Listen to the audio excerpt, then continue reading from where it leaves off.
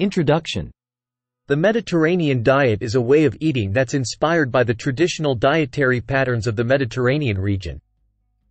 This diet is rich in fruits, vegetables, whole grains, and healthy fats. Here are the top 10 foods to include in a Mediterranean-inspired diet. 1. Olive oil. Olive oil is the primary source of added fat in the Mediterranean diet.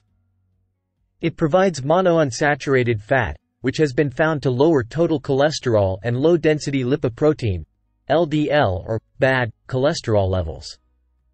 2. Fish and seafood. In the Mediterranean diet, fish and seafood are the main sources of protein. Fatty fish, such as mackerel, herring, sardines, albacore tuna, salmon and lake trout, are rich in omega-3 fatty acids, a type of polyunsaturated fat that may reduce inflammation in the body. 3. Fruits and vegetables. An abundance of food from plant sources, including fruits and vegetables, breads, grains, beans, nuts, and seeds, is a key component of the Mediterranean diet. 4. Whole grains. Whole grains are a great source of fiber and keep you feeling full, which makes them a great choice for weight loss. Whole grains are also linked to a lower risk of heart disease, diabetes, certain cancers, and other health problems. 5. Nuts and seeds. Nuts and seeds are also a part of the Mediterranean diet. They're high in fiber and heart-healthy fats. 6. Legumes. Legumes, including beans, peas, and lentils, are a significant part of the Mediterranean diet. They're a low-fat, high-protein source of vitamins, minerals, and fiber. 7. Herbs and spices.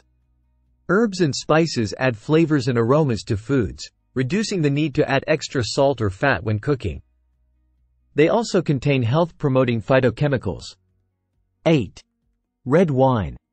People who follow a Mediterranean diet might choose to have a glass of red wine with their meals. Moderate amounts of red wine have been linked with heart health.